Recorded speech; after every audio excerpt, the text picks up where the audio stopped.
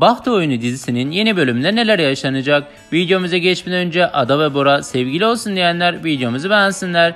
Dizinin yeni bölümünde yine çok heyecanlanacağımız sahneleri bizleri beklemekte. Ada'nın hayallerinden vazgeçmesi Bora için adaya yaklaştıramayacağı bir dönem olacaktır. Çünkü Ada tam da kendi düşüncelerinin fikirlerini ele almışken hayallerinin vazgeçtiği onun kalemi olacaktır. O kalem onun için çok önemliyken garsonluk yaptığı restoranda o kalemi kullanmak Bora'nın yeniden Ayşe'yi işe almasına sebep olacaktır.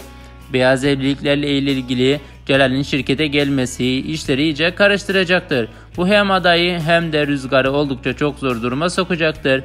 Kapak fotoğrafında ise Rüzgar ve Ada'nın olması da Celal'in onları tanımasına ve Bora'nın gerçekleri öğrenmesine sebep olacaktır.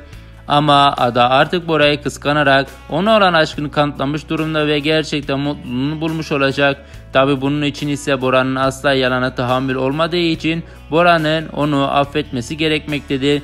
Sizce Bora Ada'yı affeder mi? Düşüncelerinizi yorumlarda belirtmeyi unutmayınız. Evet arkadaşlar bir videomuzun daha sonuna geldik. Daha fazla Bahtı Oyunu dizi videosu izlemek istiyorsanız kanalımıza abone olmayı ve bildirimleri açmayı unutmayalım.